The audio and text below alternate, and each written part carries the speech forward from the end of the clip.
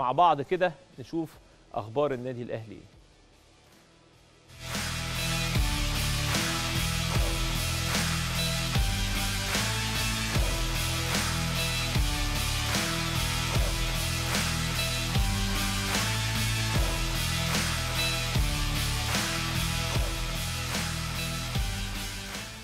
الشحات وهاني شاركوا في التدريبات وده الخبر اللي يهم جمهور نادي الأهلي بشكل كبير جدا.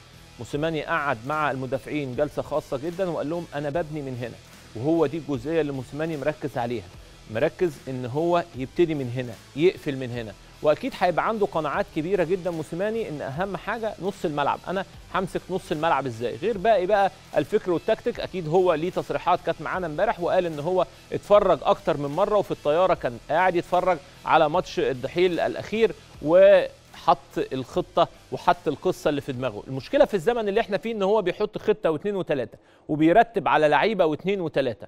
أعتقد إن أكيد هيكون حاطط فكرة كبيرة جدا على قفشة. معتمد بشكل كبير جدا على علي معلول وبقيه خطته اللي هو بيفكر فيها مع كل نجوم النادي الأهلي.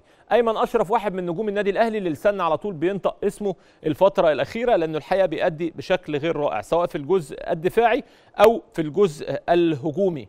يا ترى يوم الخميس الأهلي محضر إيه؟ يا ترى يوم الخميس هنعمل إيه؟ إن شاء الله بإذن الله أداء جيد ورائع للنادي الأهلي. توقيع غرامة على رامي ربيعة بسبب تصريحاته وبسبب عروض المقاولين وعروض النادي الإسماعيلي ومسؤولي النادي الأهلي أو كابتن سعد عبد الحفيظ وقع غرامة وقال إن في التوقيت ده مفيش تصريحات في التوقيت ده في النادي الأهلي في كأس العالم للأندية في النادي الأهلي في الدوحة. مفيش حاجة ما قالهاش المهندس خالد مرتجي معانا تخص النادي الأهلي وتفاصيله. وأعتقد إن الأمور ماشية هناك بشكل جيد جدا. خطوة جديدة وخطوة وخطوة مهمة جدا لموسيماني لأن مرحلة تانية مع مستوى تاني من الكورة. أعتقد إن موسيماني عنده تفكير كبير جدا وموسيماني كان عنده أحلام حقق 60 70% منها مع النادي الأهلي وهو الد- الدوري المصري كأس أفريقيا كأس مصر يعني حاجات كتيرة جدا جدا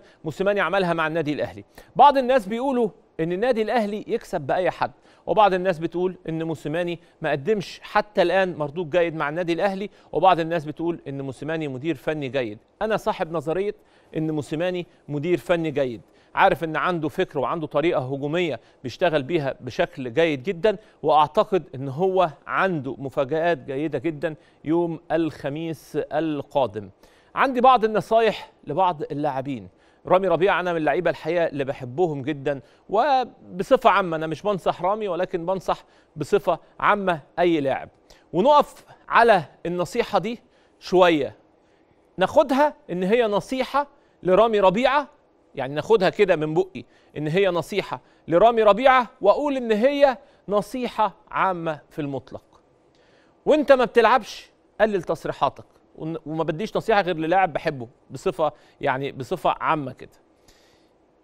وأنت ما بتلعبش قلل تصريحاتك. وأنت مش موجود في الملعب خلي كل تركيزك تلعب. وأنت بتلعب اعمل اللي أنت عايزه. مش معنى كده إن أنت وأنت بتلعب تصرح أو تقول أو لا. بس دايما هو أنت اللاعب وهو ما بيلعبش هي نقطة ضعفه هي لحظة ضعفه. الناس مش سامعة. يعني الناس بتحس إن اللاعب اللي ما بيلعبش إما يبتدي يصرح يقول لك اللاعب ابتدى يشتغل بلسانه.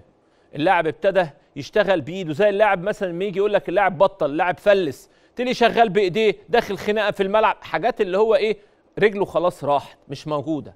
فدايما الناس بيبقى عندها قناعة. أنت مش موجود في الملعب يبقى أنت بتشتغل كلام بتشتغل تصريحات اطلع من الحتة دي على طول. على طول اللاعب الذكي في الجزئية دي وأنا مش موجود في الملعب عندي تارجت واحد بس إن أنا أرجع وأكون موجود. دي نصيحتي لكل لاعب خارج المستطيل.